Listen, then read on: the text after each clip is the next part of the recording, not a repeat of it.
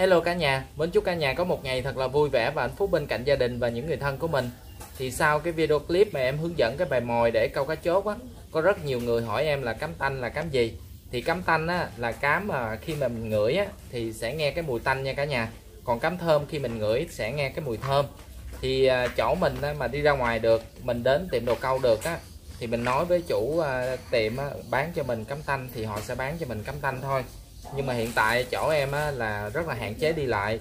Và cái tiệm đồ câu nằm ở cái xã khác cho nên là em không có qua đó được. Bữa giờ á, là em cứ ờ, dùng thức ăn. Thức ăn này là thức ăn mà cho cá tra ăn á cả nhà. Thì em mua ờ, cái loại thức ăn này á là chỉ có là 14 ngàn một ký thôi. Và em có mua thêm cái ờ, thức ăn cho chim. Thì người ta thường thường người ta sẽ bán cái bịch cắm chim nhưng mà cắm chim thì nó hết rồi và em uh, mua cái bịch này để mà thay thế. Cái này thì 12 ngàn cả nhà. Còn uh, chai dầu ăn này á, là cái chai dầu ăn mà mình để uh, nấu ăn hàng ngày thôi. Thì uh, bây giờ em sẽ hướng dẫn cả nhà để cách mà chúng ta trộn mồi. Thì uh, với cái uh, mồi này á là mình đầu tư khoảng 30 ngàn thôi. Nhưng mà rất là nhiều luôn. Bao nhiêu đây là mình câu nhiều khi cả tháng không hết luôn á bây giờ thì à, em sẽ hướng dẫn cả nhà cách trộn ngồi để mình đi câu ha. Thì à, đây là cái số à, thức ăn mà mình đang ngâm nước để chờ nó nở ra nè cả nhà. Bây giờ em sẽ lấy một số này để xay ra. Tại vì xíu nữa cái mớ này á, ngâm nước xong á, nó sẽ rất là nhão. Cho nên mình phải dùng cái bột của cái này để trộn vô cho nó khô khô lại. Bây giờ thì mình sẽ lấy một ít thức ăn dạng viên này để mình xay nhuyễn ra.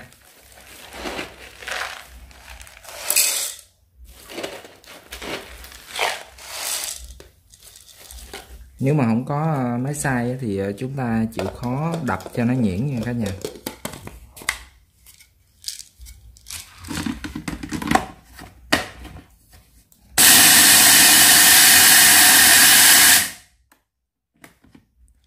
Cái này nó cứng quá cho nên là nó bảo vệ tự nó ngắt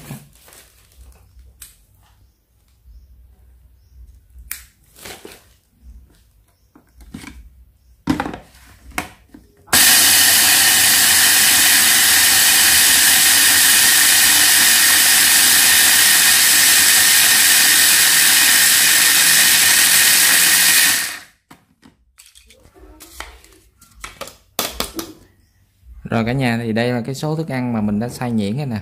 Đợi chút xíu nữa cái kia nó tan á, khi nào mình trộn á thì mình sẽ thêm cái này vô để cho thức ăn mình có độ nhão vừa phải nha. Giờ mình thử cái này xem nó đủ mềm chưa cả nhà.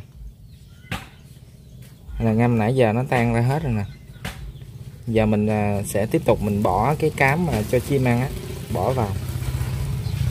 Cám này là có nhiệm vụ là à, làm cho cái mồi mình nó xốp xốp thôi mình bỏ khoảng 1 phần 3 cái ờ, lượng thức ăn thôi nha cả nhà. Rồi ờ, mình ờ, tiếp tục. Mình chế nước vô để chờ cho mấy cái cám này nó nở ra rồi chúng ta bắt đầu bóp thôi. Nếu mà muốn mấy cái cám này á nó tan nhanh á mà nó thơm nữa thì mình có thể ngâm bằng nước nóng. Còn không có nước nóng liền á, thì chúng ta có thể ngâm bằng nước lạnh cũng được.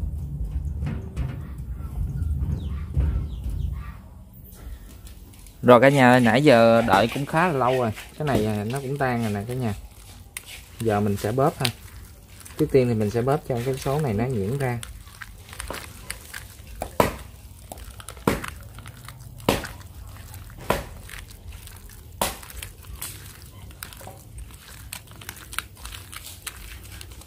À, mình sẽ đổ cái cắm khô mà nãy mình đã xay đó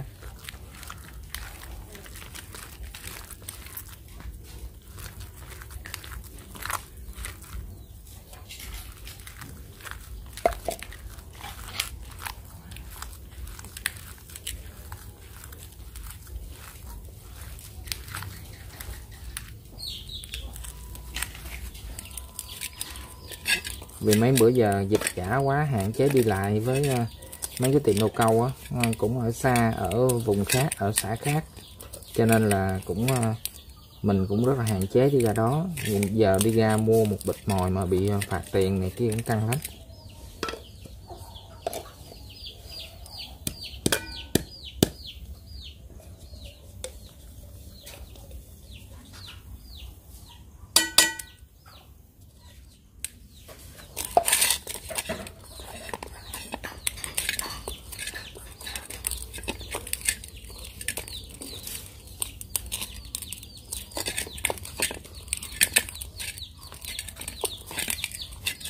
Cám nó bay mùi quá nên là con chó nó cũng, hấp dẫn con chó lại luôn.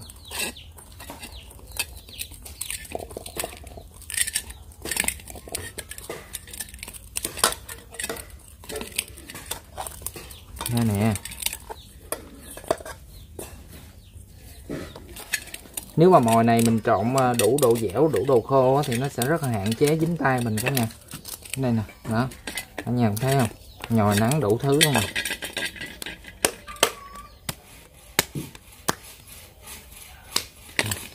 rất là hạn chế dính tay mình ha. À, vì à, do ngay chỗ của em á, hiện tại là cũng có cá tra rồi và cũng à, kèm theo cần máy để đi câu cá tra cho nên là em sẽ ngước phân nữa ra. Tại vì nếu mà mình bỏ dầu ăn vô toàn bộ thì cá tra nó sẽ à, không có ăn. Nên là sẽ để dành bao nhiêu đây để à, mà câu à, cá tra cả nha. Thêm đi tại vì cá chốt á, mình câu bao nhiêu đây là rất là nhiều luôn rồi đó, bao nhiêu đó thì mình sẽ để thức ăn còn phần cho cá tra thì mình sẽ để vô đây để để vào. bây giờ mình sẽ cho dầu ăn vô cái phần mồi mà mình câu cá chốt đó cả nhà đó. thì à, có nhiều người nói là giờ đem cái miếng này đem rang á thì à, nó sẽ thơm à, mình chưa thử cách đó nữa nếu mà cả nhà ai mà có à, điều kiện á thì thử cái cách đó xem sao ha thì khi mình bỏ dầu ăn vô thì nó sẽ hạn chế cái phần mà dính tay của, của mình khi mà mình à, để xuống nước á thì cái mồi của mình á khi mình để xuống á thì à, cái lớp dầu ăn của mình nó sẽ lan tỏa ra nó cũng à, nó tạo thành cái lớp ván ở trên mặt nước á nó sẽ dụ cá lại nữa. rồi cả nhà như vậy là mình đã trộn xong cái mồi để câu cá chốt rồi nè nếu mà anh em nào muốn tanh hơn á thì có thể là sử dụng ờ, thêm bột tép hoặc là lòng đỏ trứng gà hoặc lòng đỏ trứng vịt nha cả nhà. À, ngày mai thì ờ, em sẽ vô xong để ờ, test cho cả nhà xem cái mồi này ha. Vì bây giờ trời cũng tối rồi. Hẹn gặp lại cả nhà trong video clip sáng mai để mình thử cái mồi này nha. Rồi cả nhà ơi cuối cùng thì em cũng đến điểm câu rồi nè. Rất vui được gặp lại cả nhà trong video sáng ngày hôm nay. Thì đi câu với em thì cũng có bạn của em à, ngày hôm nay mình sẽ test bằng cái mồi ngày hôm qua với à, so sánh với cái bài mồi của bạn em trộn thử coi sao. Nay câu mồi gì du anh mồi câu D2 D2 á rồi lúc dài cũng đi mua được ghê quá ha. Với à, trộn với gì? Hay là đó không? Với thêm vô miếng à, dầu ăn. Dầu ăn nữa hả? Có thức ăn gì không? Không, không hả rồi vậy thì à, cái bài mồi mà ngày hôm qua mình trộn á mình thử với à, cám D2 của bạn mình coi à, ngày hôm nay cá nó ăn bên nào nhiều nha cả nhà. À, đây là cái cục mồi ngày hôm qua mà mình đã bỏ dầu ăn nè cả nhà. Thì để bảo quản giữ cái hơi của cục mồi này á, thì mình bỏ vô trong tủ lạnh nha cả nhà. Mình để ngoài nó sẽ trở thành chua đó. Bỏ vô ngăn mát của tủ lạnh á. Vũ Anh mới à, giật hụt con con à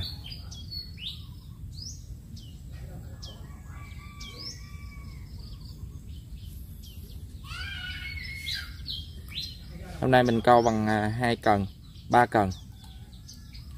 Một cần máy, hai cần tay, một cần tay bốn mét rưỡi à, định câu bên ngoài nhưng mà sáng ngày nước nó chảy quá không có câu bên ngoài được. Câu gần mé.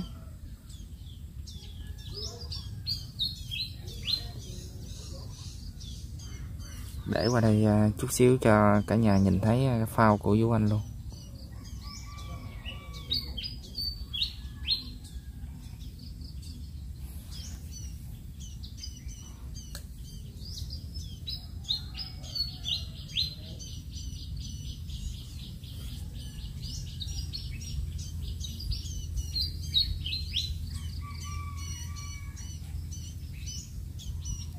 Cá còn ngủ chưa vậy hay sao? Yeah.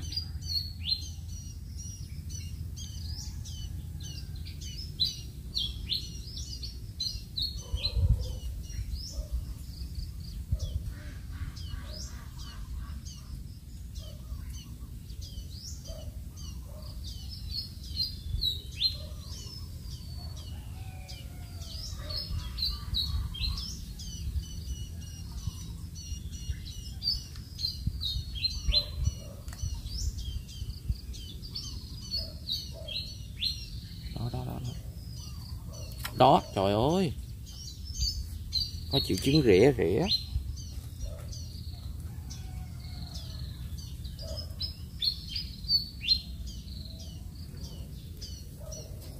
Ở đây thì à, nước nó chảy cho nên là mình không có xả mồi được nha cả nhà. Mình cứ câu thôi. Mình giật hụt là coi như xả mồi sát đáy luôn. Đây mình xả mồi là trôi hết rồi.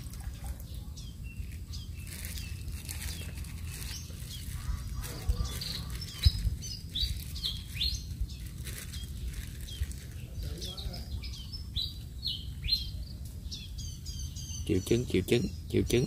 Triệu chứng. Một em. Phê phê vô anh đây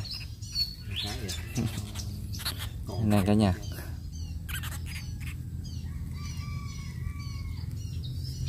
Vô. Ồ, cái trao kìa. Có nhớt có nhớt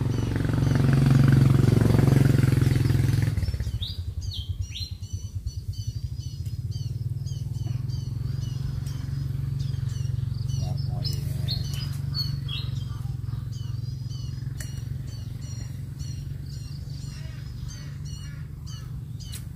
vô vô. Cũng được cũng được cũng được. Cũng ờ, có đầu nhại nhất định đó cả nhà.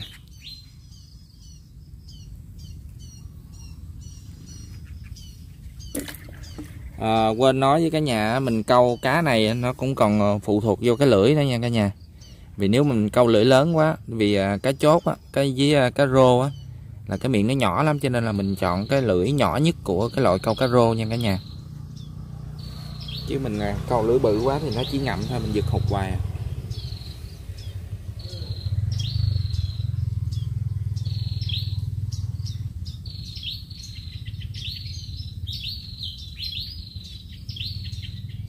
cái lưỡi này thì mua ở tiệm tạp hóa cho nên là không biết nó là lưỡi số mấy nữa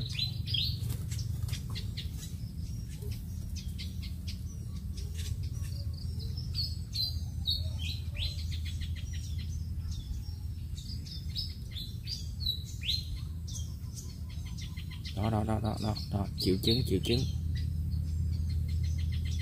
Chưa chịu ăn nữa. Chưa chịu ăn nữa. Đó. Cũng được cũng được. Cũng tạm cả nhà ơi. Giờ ờ, mình sẽ nhờ Vũ Anh test thử cục mồi này coi làm sao cả nhà. Vô. Thử nha. Được ờ, tôi đăng lên cho mai mốt ờ, câu mồi giống vậy cho nhại đó, Vũ Anh đã để mồi xuống nha cả nhà. Coi sao nha. Nổ nổ cho giữ vô Vũ Anh câu cũng không có cá.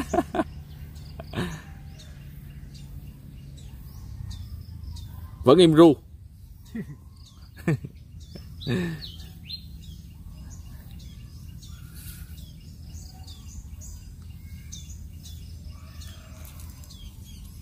Chưa thấy triệu chứng gì ở cần của vũ Anh trơn.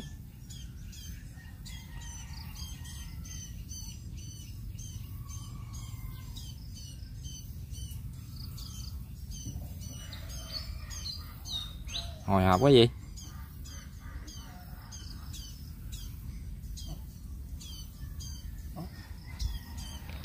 có có có triệu chứng rễ bên cần của Du Anh này cả nhà. Ú vô vô vô Du Anh lên cá cả nhà ơi. Một con cá trúc châu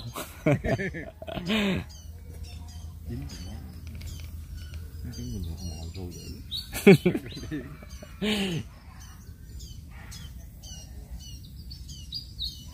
đổi mồi rồi dính liền à. Câu thử cái nữa đi à, coi sao Vũ Anh ơi.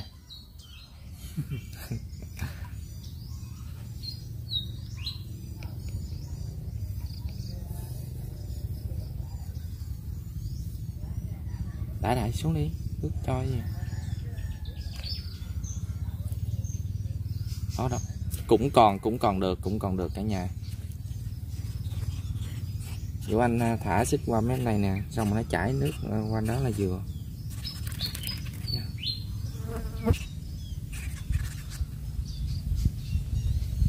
định kìa tới định kìa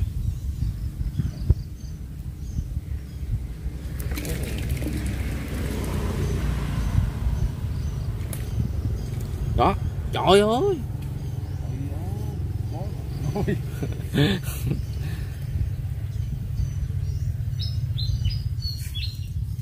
Vũ Anh giật hụt rồi cả nhà. Tiếc quá. Ngoài này cũng ok hả? kia thôi để em tắt clip hai anh em ngồi câu rồi thôi nữa quay thành quả cho cả nhà xem nha. Thôi clip nó dài lắm. Cả nhà ơi nãy giờ hai anh em câu được mớ nè. À, Vũ Anh nè. Vũ Anh ban đầu câu mồi kia chuyển qua mồi này nên cá dính hơi ít. Này là của em nè cả nhà à, cảm ơn cả nhà đã nhín chút thời gian để theo dõi video của ngày hôm nay. À, nếu cảm thấy yêu thích công việc của em thì xin hãy cho em một like và một đăng ký kênh để ủng hộ tinh thần nha cả nhà. Hẹn gặp lại cả nhà trong những video clip sau nha. Chúc cả nhà câu được nhiều cá nha. Hẹn gặp lại cả nhà trong những clip sau nha.